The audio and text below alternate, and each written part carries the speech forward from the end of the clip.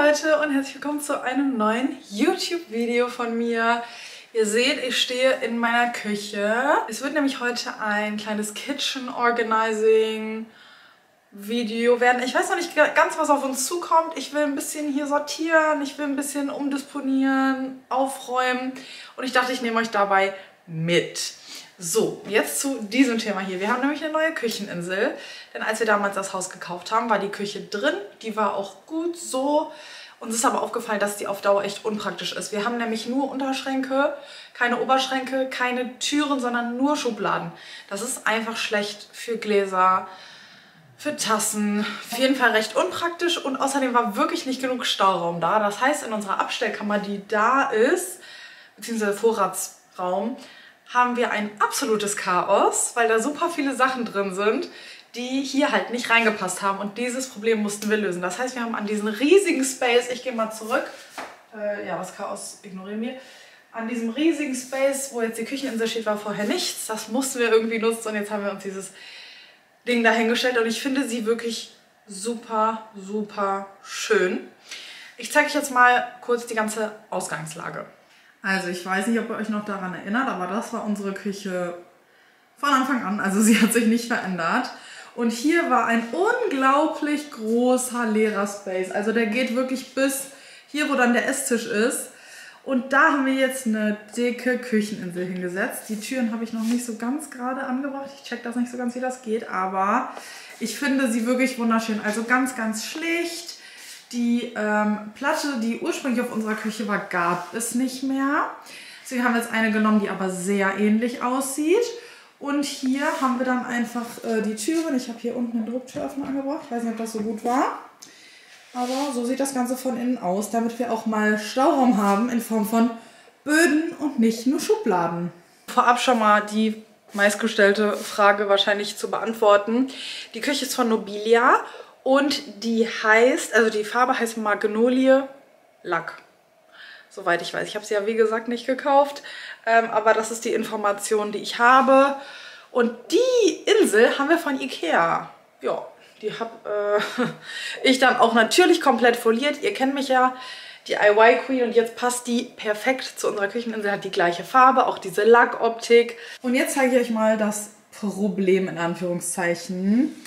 Ähm, das ist unsere Getränke-Gläserschublade inklusive Tassen.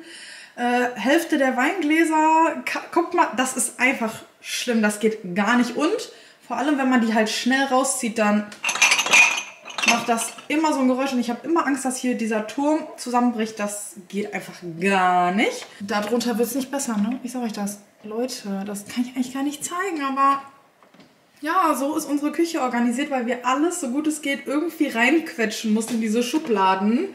Ähm, auch hier ist alles irgendwie so ein bisschen gemischt, so übereinander. Hier Sonntagsgeschirr, meine Sammeltassen. So viel Schmarrn in einem. Und ähm, auch für das hier muss logischerweise eine Lösung gefunden werden. Ich traue mich eigentlich gar nicht, das zu zeigen. Aber gut. Ähm, ja, ihr habt es jetzt mal gesehen und ich glaube, ihr versteht so ein bisschen mein Struggle. Jetzt kommen wir zum allergrößten Struggle. Die äh, Speisekammer. Ähm, ja, also. Äh, äh, ja, also. Da sind noch teilweise komplett Umzugskartons hier komplett drunter mit Küchenartikeln. Hier random stehen einfach unsere Gläser neben oben irgendwelchen Küchenmaschinen. Hier Tupperdosen, Schüsseln, also Tassen. Es hat alles nicht in unsere Küche gepasst und deswegen wohnt es hier und das ist keine Lösung. Dieser Raum hier ist super groß und super praktisch und ich mag den an sich total, weil wir haben ja auch noch einen zweiten Kühlschrank und wir haben hier wirklich Platz, aber ich möchte den nicht mit Geschirr vollpumpen, weil das gehört ja in die Küche ne? Ähm, und auch so Küchengeräte und so, da kommt man gar nicht dran, weil alles so voll ist. Ich bin so froh, dass wir jetzt die Insel haben. Ich würde sagen, wir starten jetzt mal mit dem Temu Haul.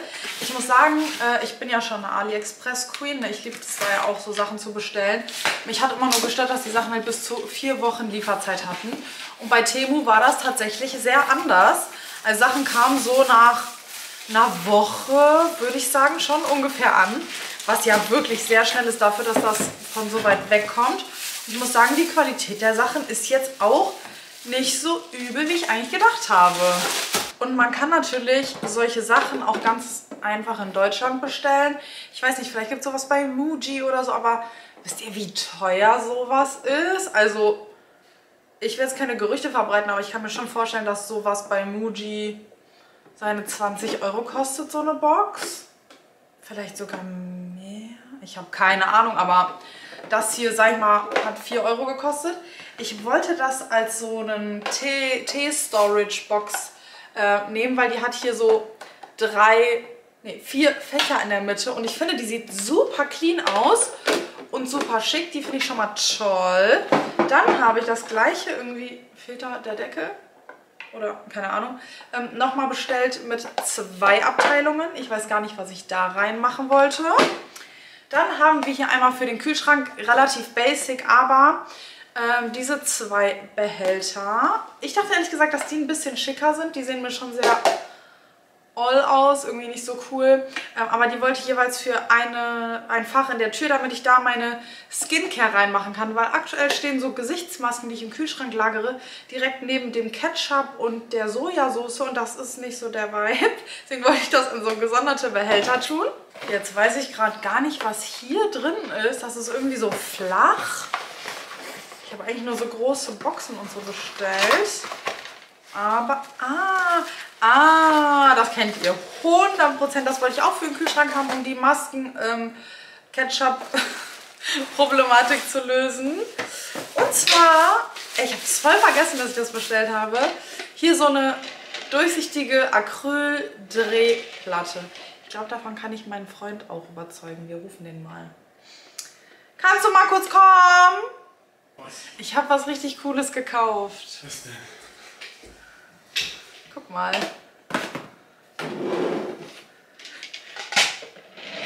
Geil. Und was für den Kühlschrank. Ist das ah, nicht mega geil? Da kann man Soßen und so reintun. Ah. Und dann sind die, dann muss man nicht... Praktisch, da kommt man dran, da muss man nicht umräumen. Korrekt. Geil, oder? Mega geil. Und hier ganz viele coole Boxen. Mit Kugellager, Alter, wie, wie sick. Übel sick, ne? Ja, das wollte ich dir zeigen. Mega geil. Und ich habe noch was mega Geiles bestellt. Soll ich dir zeigen? DJ, ja, Geisteskranker DJ. Achte jetzt. Für Drinken. Getrinken. Nein, nicht für die Getrinken. Das ist für die Shaker und To-Go-Becher ah. von meinem Schatzi. Super. Ist es nicht voll geil? Guck mal, wie nervig die in dieser Schublade sind. Mhm. Und jetzt, ähm, ja, hm, kann man die... Leute, guckt mal. So ist das. Und ähm, ihr habt ja eben gesehen, wie unsere To-Go-Becher, Shaker und so ähm, da in der Schublade stehen. Und jetzt können wir die so richtig geil einsortieren. Ich freue mich da so sehr drauf. Geil. Davon habe ich auch zwei Stück bestellt, weil ich habe gezählt, wie viele von den Teilen wir ungefähr haben.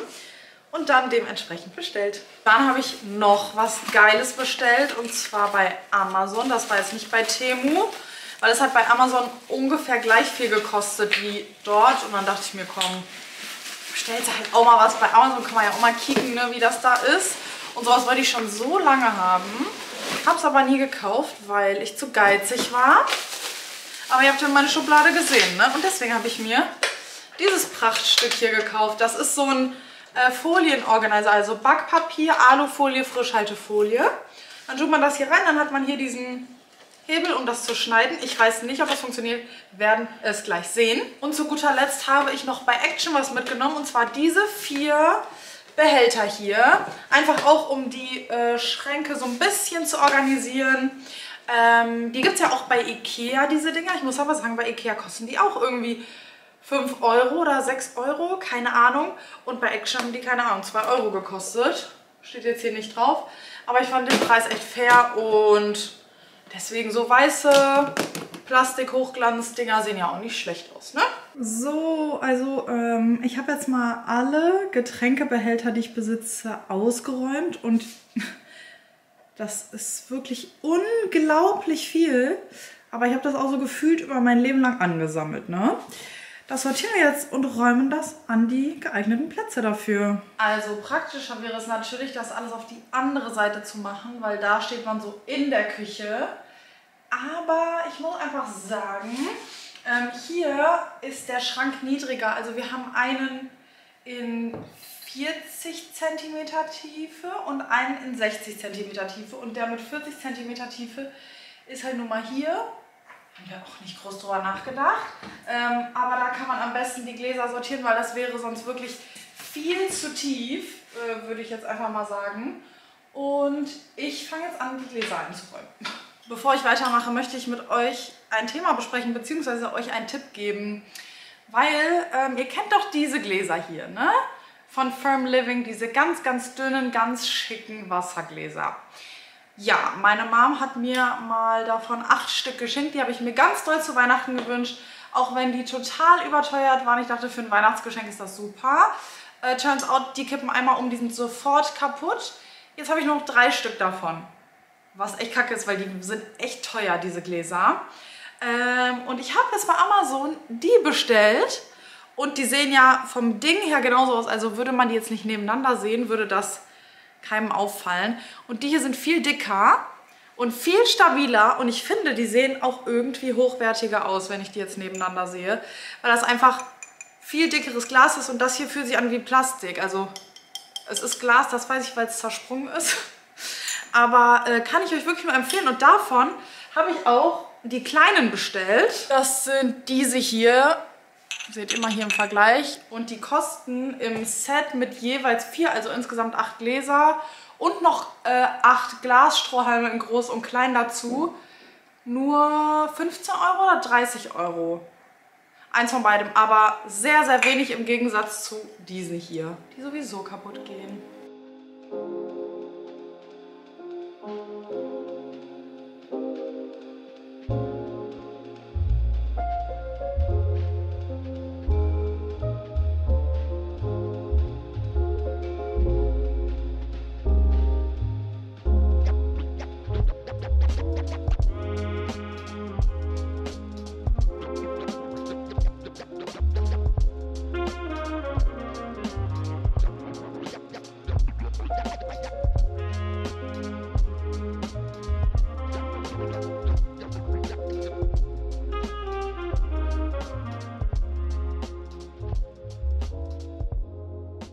So, diese Schublade, die ich euch eben gezeigt habe, ist jetzt komplett leer. Da hier aber unsere Kaffeemaschine ist und unser Wasserkocher und sowas, ähm, habe ich mich dafür entschieden, hier jetzt eine Kaffee- und Teeschublade zu machen. Das heißt, die Tassen werde ich nicht, wie ich gedacht habe, in die Kücheninsel einräumen, sondern wieder drüben hin. Auch wenn das ein bisschen unpraktisch ist, aber es ist immer noch besser als die Gläser in der Schublade zu haben. By the way habe ich auch ein paar Tassen aussortiert, weil se ihr seht, ich habe echt viele und vor allem auch viele verschiedene. Aber die hier zum Beispiel habe ich mal, äh, beziehungsweise habe ich nicht von meiner Oma bekommen, sondern das war immer meine Tasse bei meiner Oma früher und ich, Leute, ich werde die für immer lieben. Ich kann die auf gar keinen Fall aussortieren. Und die zum Beispiel habe ich mir bei Flying Tiger geholt letztes Jahr an Weihnachten. Auch mega süß. Und ich habe so funny Tassen, ne? Dann diese hier von Douglas vom Oktoberfest. Werde ich auch nicht wegtun, weil ich diesen Krug halt liebe. Ja, so sammelt man halt verschiedene Tassen an. Ähm, aber die hier sind von ähm, Portofino Ceramica. Genau. Dann habe ich diese bunten hier einmal in äh, Pink, in Blau und in Orange von Motel Amio. Die ist wie gesagt Flying Tiger. Die hier sind von Ikea. Und die hier, nach denen werde ich auch immer gefragt, die sind von Jotex. Und dann habe ich noch diese Maus. Die habe ich mir gestern zusammen mit Maya in so einem ähm, Deko-Großhandel in Venlo gekauft. Richtig süß. So, wie ihr vielleicht hier sehen könnt, hatte sich bei mir in der Abstellkammer super viel an Tee angesammelt und ich wusste gar nicht, dass ich diesen ganzen Tee noch habe.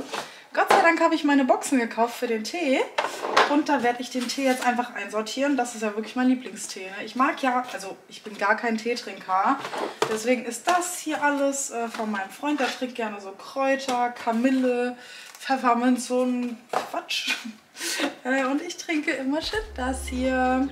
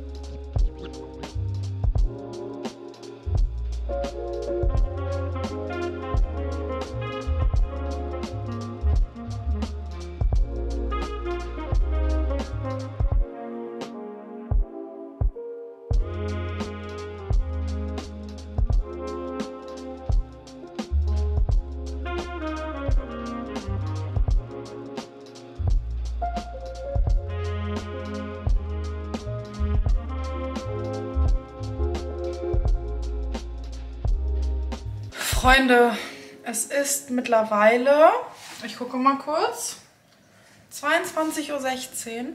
Glaubt ihr, ich habe irgendwas anderes gemacht, als diese Küche zu organisieren? Hm, nein, ich habe auch nichts gegessen. Ich bin halb am Verhungern. Ich habe das Gefühl, ich kipp gleich um, aber die Küche ist so viel besser jetzt schon geworden. Mir fehlen auf jeden Fall noch einige Sachen, um wirklich alles perfekt organisiert zu haben. Ich glaube, perfekt wird es so oder so nie sein. Aber ich bin meinem Ziel heute schon ein Stück näher gekommen. Zwischendurch ist meine Kamera natürlich ausgegangen. Ähm, aber ich zeige euch jetzt mal die einzelnen Bereiche. Fangen wir an mit der Horrorschublade von, ja, die ich euch am Anfang gezeigt habe. Sie ist immer noch absolut nicht perfekt, aber wir haben hier unsere Kaffeeutensilien und hier den ganzen Tee. Dann haben wir hier nochmal Kaffeeutensilien. Das hier ist Zucker, Sirup, äh, Kaffeebohnen und hier sind nochmal Kaffeebohnen. Und für diese hier, das sind so lose Teesachen, ähm, für die wollte ich noch einzelne Behälter besorgen. Also irgendwie sowas, aber natürlich, das ist ja Pulver, deswegen was bisschen anderes. Und hier sind dann jetzt unsere Tassen, die noch übrig sind. Guck mal, wie toll ist die bitte? Die habe ich, ähm, habe ich bei TikTok so eine Werbung angezeigt bekommen, wo man seinen Hund in eine Tasse machen lassen kann. Es wird handgemacht nach Fotos. Und ähm, genau, dann habe ich die meinem Freund geschenkt. Mega cool, oder?